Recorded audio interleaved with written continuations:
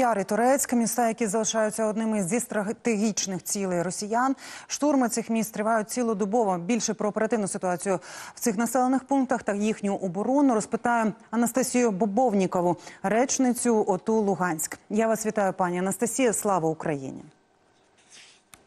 Героям слава! Часів яр у розвідці Міністерства оборони Великої Британії допускають, що росіяни просунулися у часовому яру з півдня, перетнули канал Сіверський Донець. І судячи, от з мапи проєкту State, перетин каналу здійснили і з півночі. Чи йдеться про перехід малими штурмовими групами? Як про то раніше в нашому ефірі розповідали представники е, підрозділів Сил оборони? Що і все ж таки, чи все ж таки росіяни намагаються закріпитися е, в цих місцях? Так, звісно, росіяни намагаються закріпитися. Тут основне слово намагаються. Е, і Вони намагаються перетнути за каналом, е, перебігти за канал у часовому ярі. Однак, як це відбувається? Дві-три особи перебігають через канал і засідають у будинку. Відповідно, ми ж перерізаємо їм логістичні шляхи і вибиваємо їх звідти. Е, ось таким чином відбувається. Щодо закріплення за півночі, ворог намагається е, накопичувати техніку, однак е, поки що ми не бачимо штурмів з технікою, і я можу сказати, що це для них буде дуже складно.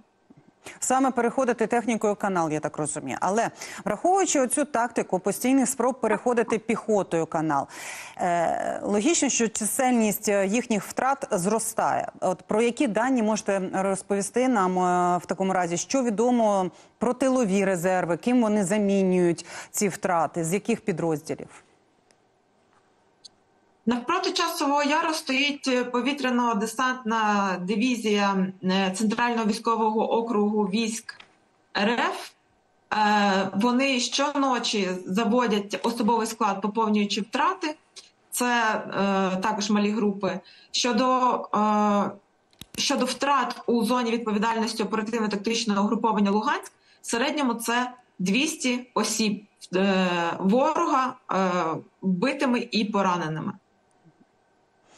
І спираючись на дані, я зрозуміла, спираючись на дані Deep State, видно, що терплячи поразку в лобову зайти в місто вже скільки місяців, росіяни намагаються його обійти і вийти на дорогу до Костянтинівки. Е, чи так це? І в цій операції чи задіють вони важку техніку? Е, так, це напрямок ступочок. Якщо ви побачите на карті. Ем, ворог намагається просунутись, однак е, лінія зіткнення вже давно не рухається. Завдяки діям наших підрозділів, які стоять там, е, вони змогли зупинити ворога, і е, ситуація залишається незмінною вже ну як місяць. Вони точно не просуваються. А розкажіть нам за рахунок чого вдається, тому що я так розумію, що все ж таки паритетності в артилерії і в кількості снарядів немає. А тоді е, за рахунок чого вдається зупиняти їх і не давати можливість просуватися? А, Так, на жаль, мушу визнати, що ворог має е, більше артилерії, більше снарядів, е, на жаль, більше дронів, а також більше живої сили. Проте е, нам вдається зупиняти ворога завдяки е, нашим дрончикам і піхоті, е, яка має змогу також і штурмувати ворога у відповідь. Штурмові дії наших сил вдалі, а також дії дрончиків вони дуже точні. І завдяки цьому, завдяки нашій точності і умінням нашому, нашому навчанню, ми маємо змогу нищити ворога. Далі е, спустимося вниз по мапі. Торецьк. Аналітики інституту вивчення війни відзначають, що силам оборони вдалося відновити втрачені позиції у самому місті. Е, чи ви можете підтвердити цю інформацію? Е, саме так, як я говорила раніше, ворог не просувається, і в Торецьку теж лінія зіткнення давно не міняється. Ми ми стабілізували ситуацію також, дякуючи підрозділам, що стоять у Турецьку. Е, У міських боях активно діє піхота. Вони мають змогу е, нищити ворога і е, дещо е, і, і якби стабілізували лінію зіткнення. Тобто ми е, не, не даємо ворогу просуватися. Е, Однак я хотіла зауважити, що кількість обстрілів вона не зменшується попри меншу кількість штурмів. Е, Ворог застосовує як авіацію, так і артилерію, і ми не бачимо зниження в е, цих засобах. Авіацію, от е, тут для мене особисто не зрозуміло. Бої е, ведуться в самому місті.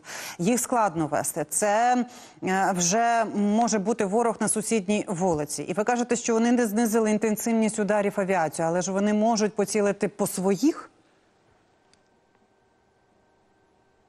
Так, їм ну вже давно відомо, що керівництву військ РФ байдуже на своїх бійців, байдуже навіть на техніку свою.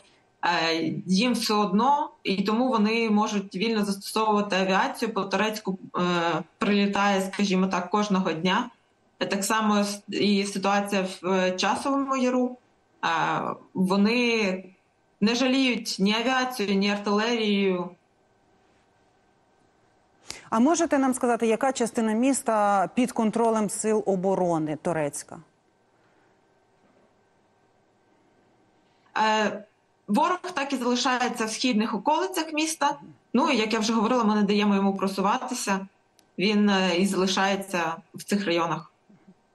Пані Анастасія, я вам дякую за те, що можливість знайшли час е, нас е, поінформувати оперативно про ситуацію у часовому яру у Турецьку.